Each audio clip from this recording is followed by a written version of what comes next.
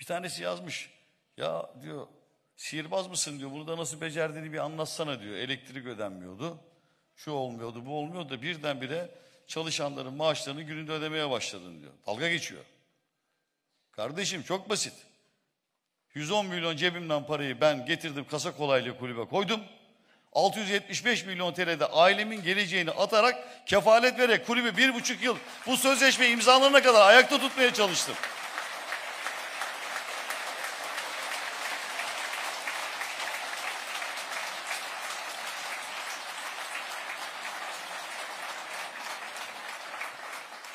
Yani biz birilerinin altını oyduk da birileri buradan gitmedi sevgili divan kurulu üyelerim.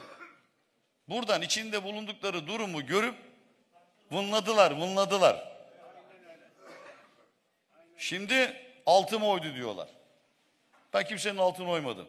Ama son iki yıl görev yaparken şahsım abi adı altında tahrik ve taciz edildi bu kulüpten gitmem için. Bunu hiçbiriniz bilmiyorsunuz.